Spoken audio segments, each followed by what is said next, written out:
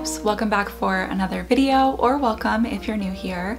Today I have a super exciting video to share with you. I personally absolutely love watching moving vlogs and love to get to share them with you guys as well. So hopefully you're excited. Today I have a video touring some apartments with my boyfriend Ken.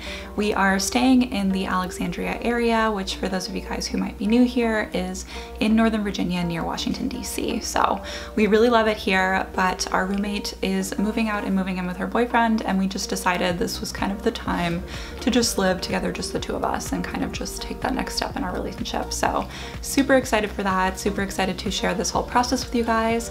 But before I get into that, I really just wanted to touch on something really quickly.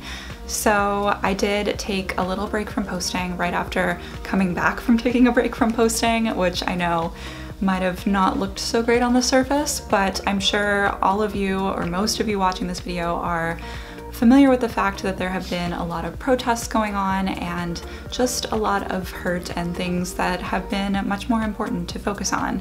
So I wanted to kind of just take a step back. I really took a step back on all of my social media besides resharing posts and kind of lifting up voices that I felt like needed to be heard more than my own. So that is why I took a step back and I don't want to sit here and preach to you guys about why the Black Lives Matter movement is important because I don't think that I'm the person you need to hear it from. Frankly, as a privileged white woman, it's just not my place to speak on it too much, but I do encourage you guys to really just educate yourselves. There are plenty of black creators here on YouTube and on Instagram and literally anywhere on the internet that you can hear from and really learn from their experiences and understand better what is going on and how you can help. So I definitely encourage you guys to do that. If you need help with that, you can go ahead and follow me on Instagram. I've been sharing a lot of things over there and I also will just link some resources for you down in the description. So make sure to check that out and I just really encourage you guys to listen to more melanated voices and be a part of this movement because it's a really important moment to do so. With that being said, we're going to move into chatting about the different apartments and buildings that we toured during this process. So have my iced coffee ready and I'm just excited to chat with you guys and share our experience, especially since during this time where we still are very much living through a pandemic, it's a very unique time to be looking for a new place to live frankly a little nerve wracking to be looking for a new place to live. But I'm really glad that all of the buildings that we kind of seriously considered offered some kind of touring, whether it was self-guided or, you know, kind of more socially distanced, wearing masks, doing that whole thing, but still having a traditional tour with a leasing agent. So we had experiences kind of on both sides of the spectrum, and I'm just glad that we were able to do that. I know a lot of other buildings are also just doing virtual tours, which is quite a leap of faith, but isn't necessarily a bad thing to do as long as you read reviews and make sure you're kind of educating yourself about the area. But for me personally, I didn't necessarily feel comfortable signing a lease for a building I hadn't seen. So I was really glad that we were able to tour all of the buildings that we were looking at. Starting off with apartment number one and building number one, we only toured one apartment in this building because this was the building that did self-guided tours, which I found was really pretty easy to do and I respected their choice to do that because it doesn't put their leasing agents at risk and us at risk, anyone touring at risk because you're kind of just coming in, you're looking at the unit, maybe wandering around to look at the amenities and then leaving and so there's less contact happening and less chances for things to spread. So it definitely, I have to say, was such a unique experience though because we kind of just rolled into the parking garage and then followed the directions to get to a lockbox and then got the code, unlocked it, got the key, went to the unit and toured. And so, I mean, I'm glad that we got to see the space and it was a beautiful space. It's a great apartment. The unit that we toured is not one of the layouts that we were considering, but it just was the one they had available that day. So at least we were able to tour that and kind of get a sense of the finishes and the storage available and kind of those important things that you really want to consider when you're looking at a new space. I will also say that this was my favorite building going in and I think it definitely Um, checked a lot of the boxes that I was looking for in person as well. I really felt that the finishes were nice. I loved the open space of the kitchen kind of flowing into the dining and living area. The flooring, everything just felt really nice and I was a huge fan, especially of the kitchen in particular. Like guys, that storage, insane. I'm, a, I'm in love. I also felt like there was a decent amount of storage space in this apartment, which is important because both Ken and I honestly just have a lot of clothes. So we need good space and to be able to share that space and make it work to the best of our ability. So I felt pretty good about the storage space in this apartment. And again, it wasn't the exact layout that we were looking at, but at least we got a fairly good idea. It was just, I think a little bit bigger and some of the things were moved around a little bit, but it still gave us a good idea of what we were working with. So now on to the pros and cons for this first apartment and this first building. So one of the big ones is it's on budget, which is something you definitely want when you're looking for a place. I mean, sometimes there's ways that you can kind of justify going a little above your budget, but luckily within this search, we stayed pretty well into that. Also, the apartment layouts that we were actually looking at signing for if we were to apply for this building had balconies and they look super big online. Of course, it's easier to tell in person, but even just looking up at the building as we were coming in, they're really nice balconies and it would be so nice to have that outdoor space. We have a balcony in the apartment we live in now and I would really miss that if we moved somewhere without it because it's nice, especially in the spring and the fall, to just spend time out there, have a glass of wine, read a book, you know, that whole vibe. It's just really nice to have some outdoor space to yourself. Another pro of this building is its location. It is a lot closer to DC than where we currently live, so our commute would be shorter, which would be really nice and just convenient overall. Of course, right now with everything going on with coronavirus, we're not commuting anywhere. We're both working from home, but whenever things do eventually start to go back towards normal, it will be nice to have a shorter commute if we choose this building. And also they have a metro shuttle, so it's not right on the metro, but that's still more convenient than where we live now because we both drive to the metro and then take it from there. So it would be nice to have access to a shuttle and just hop on that, go to the metro and head off to work. And one last pro for this building was the parking fee is lower per month than a lot of other buildings that we looked at. So kind of a minor thing, but all of those fees and charges every month do add up, so that's definitely a plus. Moving on to the cons for this apartment and building, really it's more about the building itself and the location. And this is just being nitpicky to be honest, because I think you should when you're choosing a living space because you spend a lot of money on rent, at least I know we do in this area. So it's really important to be happy with your space and have it kind of checking all the boxes that you need it to. So even though this isn't a terrible location, it's not a very walkable location. It's kind of like a bunch of apartment buildings together and you know it's not like walkable to like a coffee shop or the grocery store or anything like that. And we do have cars so it's not a big deal to go drive to those places.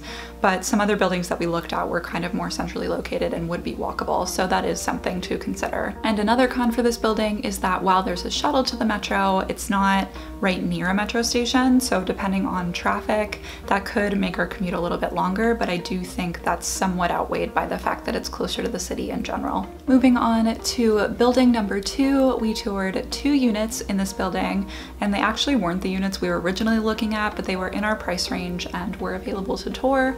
So that was nice. It also was nice in this building because we got kind of that more traditional tour approach with a leasing agent. So we were able to ask her questions and, you know, just kind of get a more personal experience. It definitely is weird still though, just like doing the whole thing wearing a mask and trying to be mindful about not getting too close. It just isn't necessarily what feels normal. Not that anything in this time feels normal, but just sharing my experience with you guys.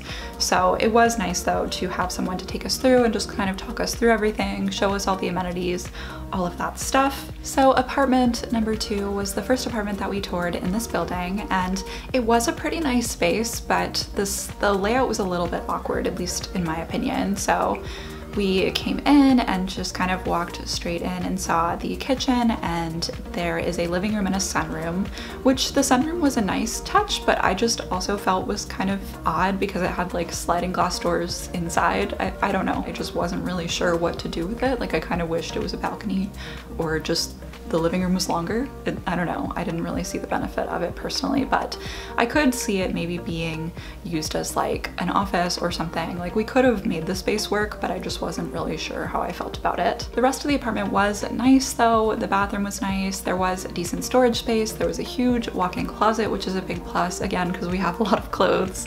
And really the overall space wasn't too bad. The layout just was a little bit awkward for me. Another thing about this apartment that I wasn't too sure about is that the kitchen was just kind of small and closed in. We spend a lot of time cooking. We really love to cook and host people. And so with that kitchen being just so cramped, I, it was another thing where I wasn't really sure about this apartment. I think one of the bigger selling points was definitely the storage, but the overall feel was just kind of not the vibe we were looking for. Moving on to apartment number three, this was definitely our favorite unit that we toured at this second building. There was so much natural light in this space. It was incredible incredible. I swear there were windows in like every single room, which for an apartment can be kind of rare sometimes. Usually you'll at least get some light and natural light in like the living room and the bedrooms, but even the bathroom had a window, which I feel like you don't see in apartment living a lot. It was a pretty decent layout. The kitchen was a little bit more open, so we really did like this space.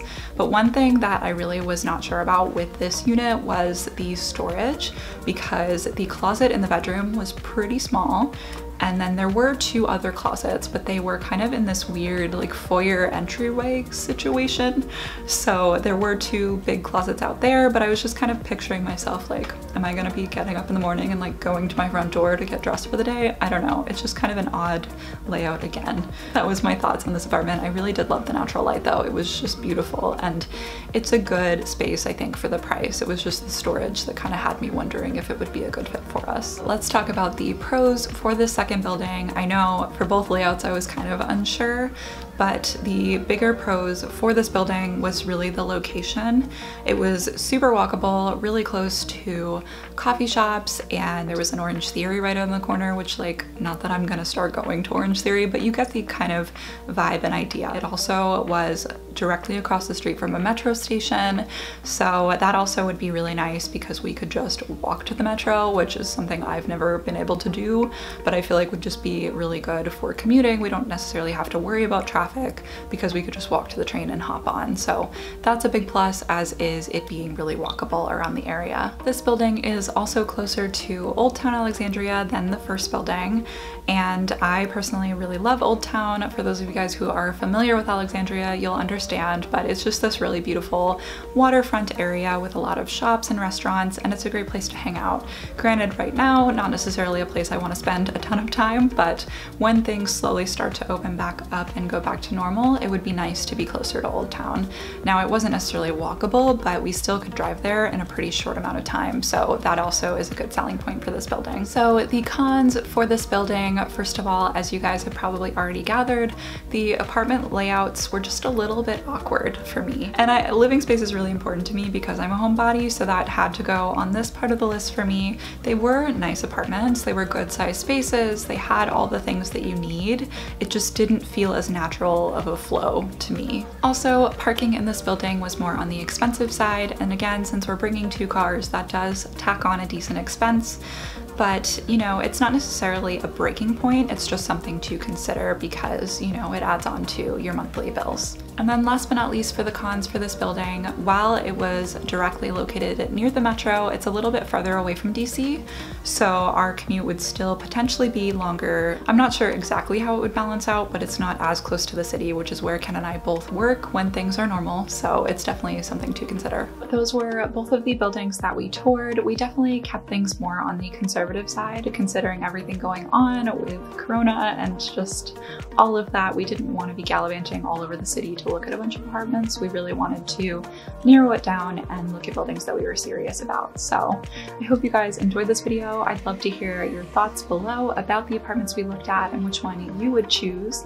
We did actually go ahead and apply for one of the apartments and we were approved. So we have a place that we're moving in August, which is very exciting. I know Moving is always kind of nerve wracking and stressful, but moving during a pandemic is something, and I know it's going to be such a process. So at least we have a place that we're going for sure, and I'm really excited. I'm not going to tell you guys which one yet, but I'd love for you to guess down below which one you think that we chose. That is pretty much everything for this video. If you are new here, make sure to subscribe down below. I'd love to have you stick around and join the Curly Hair Love fam. and I can't wait to share the rest of this journey with you guys. I love you so much and I'll talk to you in my next video. Bye.